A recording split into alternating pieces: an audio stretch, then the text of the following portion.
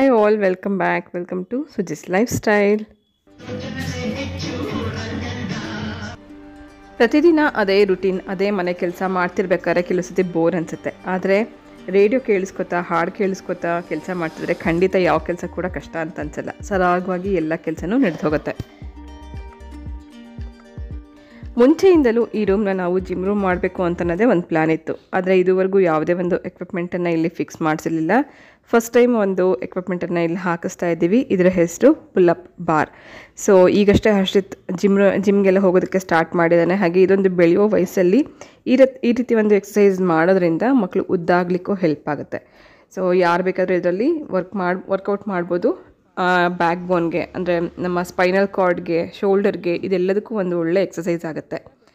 ಹಾಗೆ ಇಲ್ಲಿ ಇದನ್ನ ಫಿಕ್ಸ್ ಮಾಡ್ತಿರೋರು ನಮ್ಮ ಮನೆಯ ಎಲೆಕ್ಟ್ರಿಕ್ ವರ್ಕ್ ಮಾಡಿರೋ ಅಂಥವ್ರು ಸೊ ಇವರು ಎಲೆಕ್ಟ್ರಿಷಿಯನ್ ಅಷ್ಟೇ ಅಲ್ಲ ಈಗ ಫ್ಯಾಮಿಲಿ ಫ್ರೆಂಡ್ ಥರನೇ ಆಗೋಗಿದ್ದಾರೆ.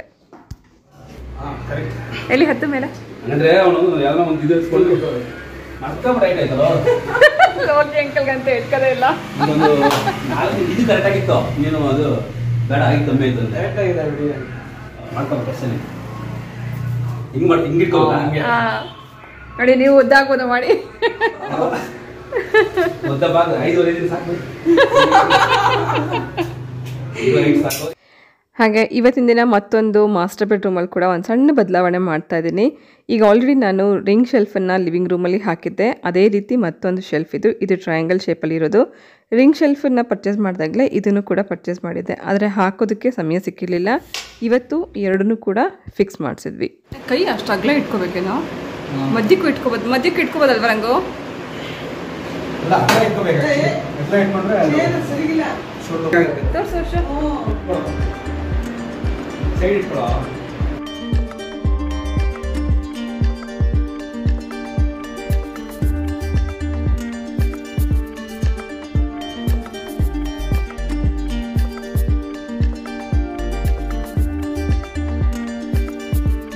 ಲಿವಿಂಗ್ ರೂಮಲ್ಲಿ ಇರೋವಂಥ ರಿಂಗ್ ಶೆಲ್ಫ್ಗೆ ನಾವು ಹಾಕಿರುವಂಥ ಲೈಟ್ಸ್ ಥರನೇ ಇದಕ್ಕೂ ಕೂಡ ಸ್ಟ್ರಿಂಗ್ ಲೈಟನ್ನು ಹಾಕಿದ್ದೀವಿ ಸೊ ಈ ಲೈಟ್ ಹಾಕೋದ್ರಿಂದನೇ ಆ ಶೆಲ್ಫ್ಗೆ ಒಂದು ಹೊಸ ಲುಕ್ ಕೊಡುತ್ತೆ.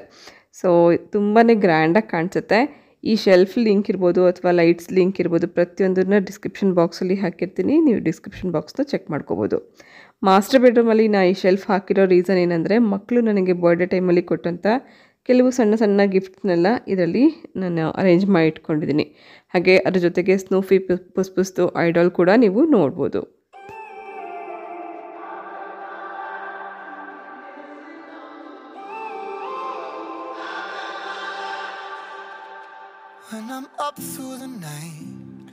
Can't turn down the noise. Say all the worries out of my mind about who I'm supposed to be. I start to believe can't get it right. Remember the days I let slip away, they were simpler times. Mama told me before you leave.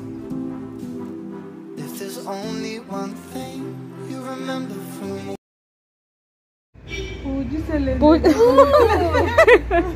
ಯಾಕೆ ನಿಮ್ಗೆ ಆ song ಇಷ್ಟ ಆಗಿತ್ತು ಅವಾಗ? ಆಯಾ ಅವಾಗ ಆವಾಗ ಅದೇ ರೆಕಾರ್ಡು ಇದು. ಅದು ಹೊಸದ ಹೆಣ್ಣು ನೋಡಕ್ ಹೋದಾಗ ಶಾಸ್ತ್ರ ಅದೇ ಥರ ಮಾಡ್ತಿದ್ದು ಹಾಡು ಹೇಳ್ಸೋದು. ಹಾಡಿ ನಾನ್ ಚೆನ್ನಾಗ್ ಮಮ್ಮಿ ಚೆನ್ನಾಗ್ ನೀವು ಚೆನ್ನಾಗಿ ನೀ ಹಾಡಾಗಲ್ಲ ಇಲ್ಲ ನಂಗೆ ಗೊತ್ತಿಲ್ಲ ನೀವು ಆಡಿ ಫಸ್ಟ್ ನನ್ನ ಜೊತೆಗೆ ಹೇಳು. ಏ ಪರವಾಗಿಲ್ಲ ಆಡಿ ಅಮ್ಮ ಪೂಜಿಸಲೆಂದೇ ಹೂಗಳ ತಂದೆ. ದರ್ಶನ ಕೋರಿ ನಾನಿಂತೆ ತೆರೆಯೋ ಬಾಗಿಲನು ರಾಮ ಯಾವತ್ತೂ ಆಡೇ ಇರಲಿಲ್ಲ ನೀವು. ಪೂಜಿಸಲೆಂದೇ ಹೂಗಳ ತಂದೆ. ಹುಡುಗಿ. ಆಡಿ ಹೋಗಿ ರಾಗ ಈ ವಯಸ್ಸಾಯ್ತಲ್ಲ ಹೋಗಿ ಅಮ್ಮಮ್ಮ ಇವಾಗಿನ ಸಾಂಗ್ಸ್ ಎಲ್ಲ ಹಾಡ್ತಾರಲ್ಲ. ನಿನ್ನೆ ಮೊನ್ನೆ ಯಾವ್ದೋ ಹಾಡ್ತಿದ್ರಲ್ಲ? ಅಮ್ಮಮ್ಮನಿಂದಲೇ ನಂಗೂ ರೇಡಿಯೋ ಅಭ್ಯಾಸ ಆಗಿದ್ದು. ನಮ್ಮನೆಯಲ್ಲಿ ಆಲ್ಮೋಸ್ಟ್ ಎಲ್ಲರಿಗೂ ರೇಡಿಯೋ ಅಂದರೆ ತುಂಬಾ ಇಷ್ಟ. ಅಮ್ಮ ತುಂಬ ಕೇಳಿಸ್ಕೊತಾ ಇದ್ರು. ಅವ್ರನ್ನ ಕೇ ಅವ್ರನ್ನ ನೋಡ್ಕೊಂಡು ನಾನು ಕಲ್ತ್ಕೊಂಡಿದ್ದೆ. ಈಗ ಮನೆಯವ್ರಿಗೂ ಕೂಡ. ರಾತ್ರಿ ಹೊತ್ತು ಮಲಗೋ ಟೈಮಲ್ಲಿ ಕೂಡ ಅವ್ರಿಗೆ ರೇಡಿಯೋ ಕೇಳಿಸ್ತಾ ಇರಬೇಕು. ಮಧ್ಯರಾತ್ರಿ ಒಂದು ಗಂಟೆವರೆಗೂ ಕೂಡ ರೇಡಿಯೋ ಕೇಳಿಸ್ಕೊಂಡೇ ಮಲ್ಕೋತಾರೆ. ಐದುವರೆಗೆ ಎದ್ದೋಳ್ತೀನಲ್ಲ? ಸ್ವಲ್ಪ ಭಕ್ತಿ ಗೀತೆ ಹಾಡ್ಸನ್ ಅಂತ ರೇಡಿಯೋ ಇತ್ತು ಐದುವರೆಗೆ ಸ್ಟಾರ್ಟ್ ಮಾಡ್ಬಿಡೋದು. ನಾವು ಹಾಡ್ತಾ ಇರ್ಬೇಕು. ನಮ್ಗೆ ಯಾರಿದೆ ನಾಚಿಕೆನಾಗಿಲ್ಲ ಹಾಡ್ತಾ ಇರ್ತೀವಿ ಅಷ್ಟೇ. ನನಗೆ ಇಷ್ಟ ಬಂದದ್ದು ಹಾಡು ಹಾಡಕ್ಕೆ. ಎಷ್ಟೋ ಖುಷಿ ಆಗುತ್ತೆ ಹಾಡು ಕೇಳಿಸ್ಕೊಳ್ಳೋಕ್ಕೆ You say we need a change, and I feel that you mean it. You mean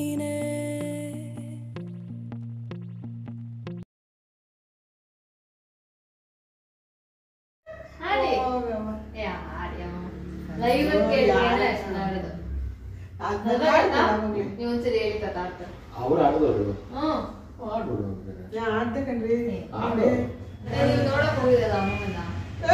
ಹಾಡಿ ಹೆಣ್ಣೋಡೋ ಶಾಸ್ತ್ರಕ್ಕೆ ಹೋಗಿದಾಗ ಯಾವ್ದು ಯಾವ್ದು? ತಾತ ಹೆಂಗ ನೀನು? ಬಾಗಿನ ಇದೇ ಹಾಡು. ಇದೆ? ಓ, ಅದೇ. ಓ ಇದೆ ಕೇಳ್ಬೇಕಂತ ಅಯ್ಯೋ ನೀವ್ ಆಯಮ್ಮ ನಾನ್ ದೇವಸ್ಥಾನಕ್ಕೆ ಹೋದಾಗ ಯಾವಾಗ್ಲೂ ಅಮ್ಮ ಅಮ್ಮ ಆಡಮ್ಮ ನಂಗ್ ಬೇಡ ಹಾಡು ಕೇಳಿಸ್ಕೊಂಡಿದ್ದಾಗಿದೆ. ಈಗ ಅಡುಗೆ ಕಡೆ ಗಮನ ಕೊಡೋಣ. ಬನ್ನಿ. ಇದು ಮೊಳಕೆ ಕಟ್ಟಿರೋಂಥ ಕಾಳನ್ನು ಬಳಸಿ ಮಾಡ್ತಿರೋವಂಥ ಒಂದು ರೆಸಿಪಿ ಟ್ರೆಡಿಷ್ನಲ್ ರೆಸಿಪಿ ಆಗಿರೋದ್ರಿಂದ ಮೊಳಕೆ ಹುರುಳಿ ಕಾಳಿಂದ ಬಸ್ಸಾರು ಹೇಗೆ ಮಾಡೋದು ಅಂತ ನೋಡೋಣ. ನಮ್ಮ ಮನೆಯಲ್ಲಿ ಮಾಡುವಂಥ ವಿಧಾನವನ್ನು ನಿಮ್ಮ ಜೊತೆಗೆ ಶೇರ್ ಮಾಡ್ಕೋತಾ ಇದ್ದೀನಿ. ಮೊದಲನೇದಾಗಿ ಮೊಳಕೆ ಕಟ್ಟಿರುವಂಥ ಹುರುಳಿ ಕಾಳನ್ನು ಬೇಯಿಸ್ಕೋಬೇಕು. ಓಪನ್ ಪ್ಯಾನಲ್ಲಿ ಅಥವಾ ಕುಕ್ಕರಲ್ಲಿ ಬೇಯೋದಕ್ಕೆ ಇಡ್ಬೋದು. ನಾನಿಲ್ಲಿ ಓಪನ್ ಪ್ಯಾನಲ್ಲೇ ಬೇಯಿಸ್ಕೊತಾ ಇದ್ದೀನಿ. ಸ್ವಲ್ಪ ಎಕ್ಸ್ಟ್ರಾ ನೀರು ಹಾಕ್ಕೊಂಡು ಕಾಳು ಬೇಯೋದಕ್ಕೆ ಇಟ್ಟಿದ್ದೀನಿ. ರುಚಿಗೆ ಬೇಕಾಗುವಷ್ಟು ಉಪ್ಪು ಹಾಕಿ ಬೇಯೋದಕ್ಕೆ ಬಿಟ್ಬೇಡ ಹತ್ತು ನಿಮಿಷದಲ್ಲಿ ಇದು ಚೆನ್ನಾಗಿ ಬೆಂದಿರುತ್ತೆ. ಹೇಗೆ ಬೆಂದಿದೆ ಅಂತ ಚೆಕ್ ಮಾಡ್ಕೊಳ್ಳೋಕ್ಕೋಸ್ಕರ ಈ ರೀತಿ ಒಂದು ಕಾಳನ್ನು ತೆಗೆದು ಇದನ್ನು ಒತ್ತಿ ನೋಡಿದ್ರೆ ಚೆನ್ನಾಗಿ ಅದು ಮ್ಯಾಶ್ ಆಗಬೇಕು. ನಂತರ ನಾವು ಇದನ್ನು ಶೋಧಿಸ್ಕೊಳ್ಳೋಣ ಈ ನೀರನ್ನು ಬಳಸ್ಕೊಂಡು ಸಾರು ಮಾಡೋದು ಅಥವಾ ಉಪ್ಸಾರು ಸಾರು ಮಾಡ್ಬೋದು, ಬಸ್ಸಾರು ಮಾಡ್ಬೋದು, ಇದೇ ನಮಗೆ ಮೇಯ್ನಾಗಿ ಬೇಕಾಗಿರುವಂಥ ಒಂದು ರಸ. ಹಾಗಾಗಿನೇ ಎಕ್ಸ್ಟ್ರಾ ನೀರು ಇಟ್ಕೊಂಡು ಬೇಯಿಸ್ಕೋಬೇಕು. ಇದಕ್ಕೋಸ್ಕರ ಮಸಾಲೆಗೆ ಕೂಡ ಇಲ್ಲಿ ನಾನಿಲ್ಲಿ ಪ್ರಿಪೇರ್ ಮಾಡಿಟ್ಟಿದ್ದೀನಿ. ಬಸ್ಸಾರು ಮಾಡಲಿಕ್ಕೆ ಎರಡು ಈರುಳ್ಳಿ, ಎರಡು ಗಡ್ಡೆಯಷ್ಟು ಬೆಳ್ಳುಳ್ಳಿ, ಖಾರಕ್ಕೆ ಬೇಕಾಗುವಷ್ಟು ಮೆಣಸಿನಕಾಯಿ, ಕೊತ್ತಂಬರಿ ಸೊಪ್ಪು ಹಾಗೆ ಸ್ವಲ್ಪ ಹುಣಸೆ ಹಣ್ಣು ಇದಿಷ್ಟು ಜೊತೆಗೆ ಬೇಯಿಸ್ಕೊಂಡಿರುವಂಥ ಕಾಳು. ಇಷ್ಟು ಹಾಗೆ ಅದರ ಜೊತೆಗೆ ಅರ್ಧ ಸ್ಪೂನಷ್ಟು ಜೀರಿಗೆ, ನಾಲ್ಕೈದು ಕಾಳಷ್ಟು ಮೆಣಸು ಇಷ್ಟನ್ನು ಸೇರಿಸ್ಕೊಂಡು ರುಬ್ಕೊಂಡ್ರೆ ಬಸ್ಸಾರಿಗೆ ಖಾರ ರೆಡಿಯಾಗುತ್ತೆ ಅದಕ್ಕೂ ಮುಂಚೆ ಈರುಳ್ಳಿ, ಬೆಳ್ಳುಳ್ಳಿ ಮತ್ತು ಮೆಣಸಿನ್ಕಾಯನ್ನು ಹುರ್ಕೋಬೇಕು. ಒಂದು ಗಡ್ಡೆಯಷ್ಟು ಈರುಳ್ಳಿ, ಒಂದು ಒಂದು ಗಡ್ಡೆಯಷ್ಟು ಬೆಳ್ಳುಳ್ಳಿ, ಖಾರಕ್ಕೆ ಬೇಕಾಗುವಷ್ಟು ಐದಾರು ಮೆಣಸಿನ್ಕಾಯಿ, ಜೀರಿಗೆ ಮತ್ತು ಮೆಣಸು ಇದಿಷ್ಟನ್ನು ಹುರ್ಕೊಂಬೇಡ ಹಾಗೆ ಹಸಿಯಾಗಿ ರುಬ್ಕೊಳ್ಳೋದಕ್ಕೆ ಇಲ್ಲಿ ಹುಣಸೆಹಣ್ಣು, ಕೊತ್ತಂಬರಿ ಸೊಪ್ಪು, ಹಸಿ ಈರುಳ್ಳಿ, ಹಸಿ ಬೆಳ್ಳುಳ್ಳಿ.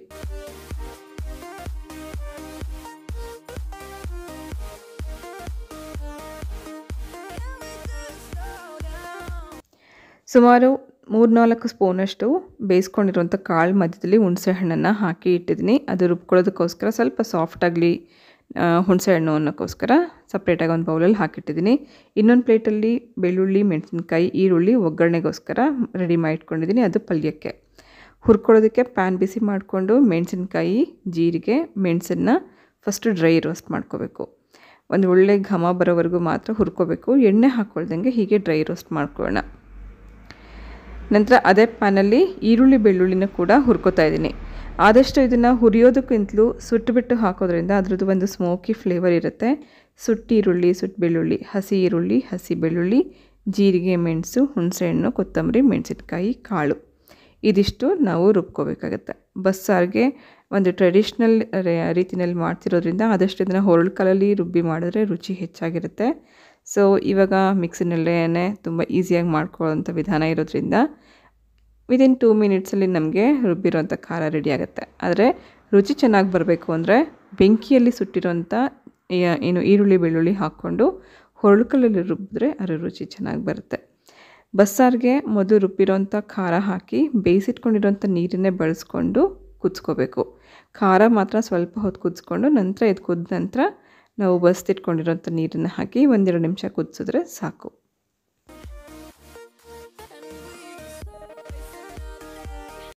ಬೇಯಿಸಿಟ್ಕೊಂಡಿರೋಂಥ ಕಾಳನ್ನು, ಬಸ್ತಿಟ್ಕೊಂಡಿರೋಂಥ ನೀರನ್ನು ಸಪ್ರೇಟ್ ಮಾಡಿ ಇಟ್ಕೊಂಡಿದ್ವಿ. ಈಗ ಅದೇ ನೀರನ್ನು ಬಳಸ್ಕೊಂಡು ಸಾಂಬಾರಿಗೆ ಉಪಯೋಗಿಸ್ಕೊಂಡಿದ್ದೀನಿ ಸೊ ರುಚಿಗೆ ನೋಡಿಕೊಂಡು ಉಪ್ಪು ಹಾಕ್ಕೊಂಡಿದ್ದೀನಿ ಇನ್ನೊಂದೆರಡು ನಿಮಿಷ ಕುದಿಸ್ಕೊಂಡ್ರೆ ಬಸ್ಸಾರು ರೆಡಿ ಆಗುತ್ತೆ. ಮೇಲಿಂದ ಒಗ್ಗರಣೆ ಹಾಕ್ಕೊಂಡ್ರೆ ಬಿಸಿ ಬಿಸಿಯಾಗಿರೋಂಥ ಬಸ್ಸಾರು ರೆಡಿ ಸೊ ಇದೇ ಮಸಾಲ ಇಟ್ಕೊಂಡು ನಾವು ಬೇರೆ ಬೇರೆ ತರಕಾರಿಗಳು ಅಥವಾ ಕಾಳುಗಳನ್ನು ಬಳಸ್ಕೊಂಡು ಇದೇ ಸೇಮ್ ಬಸ್ಸಾರು ಮಾಡ್ಕೋಬೋದು. ಮೇಲಿಂದ ಒಗ್ಗರಣೆಗೋಸ್ಕರ ಒಂದೆರಡು ಸ್ಪೂನಷ್ಟು ಎಣ್ಣೆ ಬಿಸಿ ಮಾಡಿ ಅದರಲ್ಲಿ ಸಾಸಿವೆ, ಸ್ವಲ್ಪ ಕಡ್, ಏನು ಈರುಳ್ಳಿ ಅಥವಾ ಕರಿಬೇವು, ಒಣಮೆಣಸಿನ್ಕಾಯಿ, ಹಾಗೆ ಬೆಳ್ಳುಳ್ಳಿ ಏನು ಬೇಕಿದ್ರೆ ಹಾಕ್ಕೋಬೋದು ಒಗ್ಗರಣೆಗೆ. ಕರಿಬೇವು ಇಲ್ಲದಿರೋ ಕಾರಣ ನಾನು ಇಲ್ಲಿ ಕರಿಬೇವನ್ನು ಸ್ಕಿಪ್ ಮಾಡಿದ್ದೀನಿ. ಸೊ ಮೇಲಿಂದ ಸ್ವಲ್ಪ ಕಟ್ ಮಾಡಿರೋಂಥ ಕೊತ್ತಂಬರಿ ಸೊಪ್ಪು ಹಾಕಿದ್ದೀನಿ. ಕರ್ನಾಟಕದ ಪ್ರಸಿದ್ಧ ಬಸ್ಸಾರು ರೆಡಿಯಾಗಿದೆ. ಬಿಸಿ ಬಿಸಿ ಬಸ್ಸಾರು ಜೊತೆಗೆ ಕಾಳು ಒಗ್ಗರಣೆ ಮಾಡ್ಕೊಳ್ಳೋಣ. ಬಾಣಲಿ ಬಿಸಿ ಮಾಡಿಕೊಂಡು ಮೂರು ಸ್ಪೂನಷ್ಟು ಎಣ್ಣೆ ಬಿಸಿ ಮಾಡ್ಕೊಳ್ಳೋಕೆ ಇಟ್ಕೊಂಡಿದ್ದೀನಿ. ಎಣ್ಣೆ ಬಿಸಿ ಆದ ನಂತರ ಸ್ವಲ್ಪ ಸಾಸಿವೆ. ಸಾಸಿವೆ ಸಿಡಿದ ನಂತರ ಸ್ವಲ್ಪ ಉದ್ದಿನಬೇಳೆ ಹಾಕ್ಕೊಳ್ಳೋಣ ಸುಮಾರು ಎರಡು ಸ್ಪೂನಷ್ಟು ಉದ್ದಿನಬೇಳೆ. ಹಾಗೆ ಇದ್ರ ಜೊತೆಗೆ ಕಡಲೆಬೇಳೆ ಬೇಕಿದ್ದರೆ ಹಾಕ್ಕೋಬೋದು. ಕೆಲವ್ರಿಗೆ ಕಡಲೆಬೇಳೆ ಇಷ್ಟ ಆಗಲ್ಲ ಅಂತನವರು ಕಡಲೆಬೇಳೆ ಸ್ಕಿಪ್ ಮಾಡಿ ಬರೀ ಉದ್ದಿನಬೇಳೆ ಹಾಕ್ಕೋಬೋದು. ಹಾಗೆ ಒಂದು ಮೂರು ನಾಲ್ಕು ಎಸ್ಲಷ್ಟು ಬೆಳ್ಳುಳ್ಳಿಯನ್ನು ಜಜ್ಜಿ ಹಾಕ್ಕೊಂಡ್ರೆ ಅದ್ರ ಫ್ಲೇವರ್ ಚೆನ್ನಾಗಿ ಬರುತ್ತೆ. ಉದ್ದಿನಬೇಳೆ ಸ್ವಲ್ಪ ಕೆಂಪಗಾಗೋವರೆಗೂ ಹುರ್ಕೋಬೇಕು. ಇದ್ರ ಜೊತೆಗೆ ಒಂದು ಈರುಳ್ಳಿ, ಹಾಗೆ ಮೂರು ನಾಲ್ಕು ಮೆಣಸಿನ್ಕಾಯಿನ ಕಟ್ ಮಾಡಿ ಹಾಕ್ಕೊಂಡಿದ್ದೀನಿ ಇದು ಸ್ವಲ್ಪ ಹುರ್ಕೊಂಡ ನಂತರ ಬೇಯಿಸಿಟ್ಕೊಂಡಿರುವಂಥ ಕಾಳನ್ನು ಹಾಕಿ ಸ್ವಲ್ಪ ಹೊತ್ತು ಹುರ್ಕೊಳ್ಳೋಣ.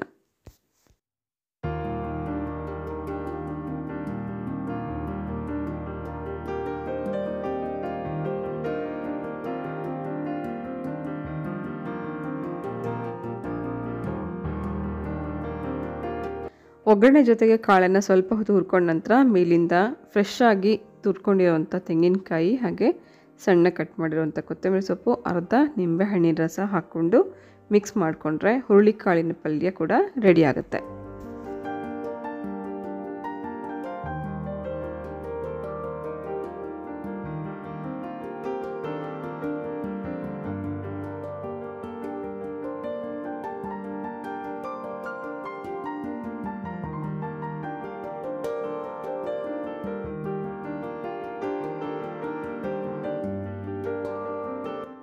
ಸೊ ಡಿಯರ್ ಫ್ರೆಂಡ್ಸ್ ಇವತ್ತಿನ ಈ ವ್ಲಾಗ್ನ ಇಲ್ಲಿಗೆ ಎಂಡ್ ಮಾಡ್ತಾ ಇದ್ದೀನಿ. ಸೊ ಇವತ್ತಿನ ಈ ವ್ಲಾಗಲ್ಲಿ ನಿಮ್ಗೆ ಏನಾದರೂ ಇಷ್ಟ ಆಯಿತು ಅಂತ ಅನ್ಸಿದ್ರೆ ಪ್ಲೀಸ್ ಒಂದು ಲೈಕ್ ಮಾಡಿ, ಹಾಗೆ ಅರವತ್ತೈದು ವರ್ಷದ ನಮ್ಮಮ್ಮ ಹಾಡಿರುವಂಥ ಹಾಡು ನಿಮ್ಗೆ ಇಷ್ಟ ಆಯಿತು ಅಂತ ಅನ್ಸಿದ್ರೆ ಪ್ಲೀಸ್ ಒಂದು ಲೈಕ್ ಮಾಡಿ. ಹಾಗೆ ಹೊಸಬ್ರು ನೋಡ್ತಾ ಇದ್ದರೆ ಪ್ಲೀಸ್ ನನ್ನ ಚಾನಲನ್ನು ಸಬ್ಸ್ಕ್ರೈಬ್ ಮಾಡ್ಕೊಂಡು ನೋಡಿ. ಸೊ ಇವತ್ತಿನ ಈ ವ್ಲಾಗ್ ಜೊತೆಗೆ ನಾನು ಹೊರಡ್ತಾ ಇದ್ದೀನಿ. ಮತ್ತೆ ಸಿಗ್ತೀನಿ ನಾಳೆ ಇನ್ನೊಂದು ಇಂಟ್ರೆಸ್ಟಿಂಗ್ ಆಗಿರುವಂಥ ವ್ಲಾಗ್ ಜೊತೆಗೆ. ಹೋಗ್ಬಲ್ಲ?